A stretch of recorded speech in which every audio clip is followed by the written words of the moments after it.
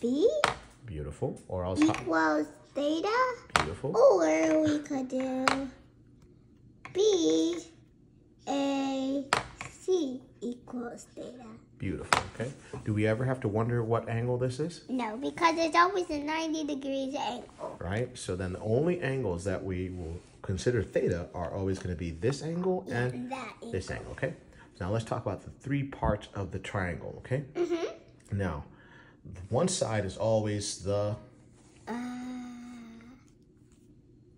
Oh, you don't have to remember the names yet, but just tell me what describes this side. um like it's the longest side. It's the longest side, okay? And that. I always remember this side because it's opposite. good, good, good. So let's go back to using this angle here as theta. Okay? Wait, how do you come up with what equals theta? Why do you just put all the letters together? So theta is always the one of these two angles, depending on what you're trying to Right. define. So it's either angle A or angle B. It's- so it's either this angle, which is ABC, or uh, angle CAB.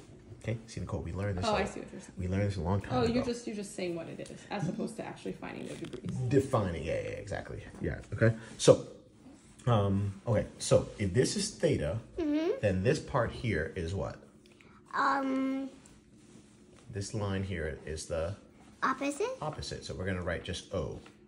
Okay. Opposite. Okay. write? Okay. This is fire. Fuel fire.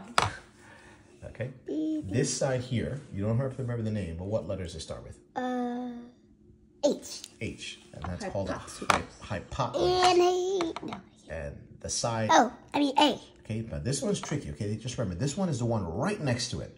Okay. Okay, so that's adjacent. Okay. So A. Okay,